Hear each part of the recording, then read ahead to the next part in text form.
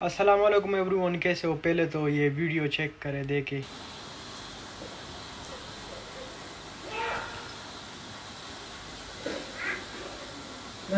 अच्छा जी, इनका नाम है तलहा तालिब गुजरावाला से इनका ताल्लुक़ है।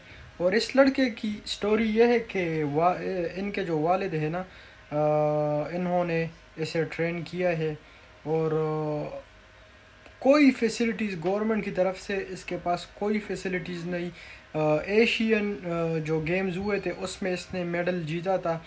और ओलंपिक में ये पहले नंबर पर नहीं आया, लेकिन फिर भी इसने पाकिस्तान का नाम रोशन किया। और बहुत नौजवान है और आप लोगों ने देखा किस तरह ये जो है ना, बग़ैर किसी फैसिलिटीज़ के ये यहाँ तक पहुँच गया है। ये दूसरी वीडियो आप लोग देखें। ये एक स्कूल है, तलहा ने बताया कि इस स्कूल में ये जो है ना, छुट्टी के बाद या सुबह स्कूल जब स्टार्ट होता है, उससे पहले ये आता है, यहाँ पे ट्रेनिंग करता है। कोई इसके पास किसी भी किस्म की फैसिलिटीज़ नहीं है, तब भी ये ओलंपिक तक पहुँचा और वहाँ पे चौथे पाँचवें नंबर पर आया।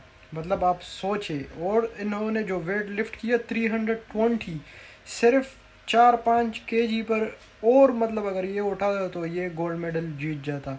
तो ये बहुत फ़ख्र की बात है, बहुत टाइम बाद पाकिस्तान को जो है ना पाकिस्तान का झंडा आप लोगों ने देखा, और इस नौजवान ने बग़ैर फैसिलिटीज़ का जो है ना, नाम रोशन किया।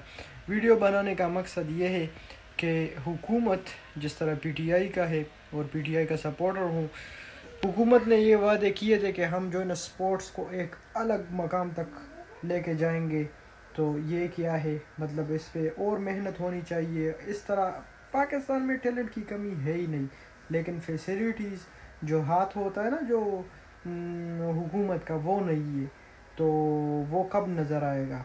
ये सवाल मेरा भी है और सबका भी है। मिलेंगे अगले वीडियो में, तब तक के लिए बाय बाय और तलहा भाई, ग्रेट, लव यू, आपने पाकिस्तान का नाम रोशन किया।